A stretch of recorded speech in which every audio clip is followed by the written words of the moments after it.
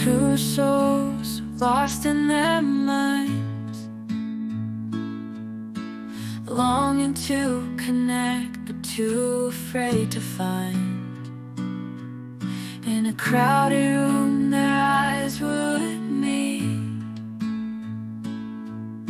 The silence proclaimed their words like a bittersweet retreat.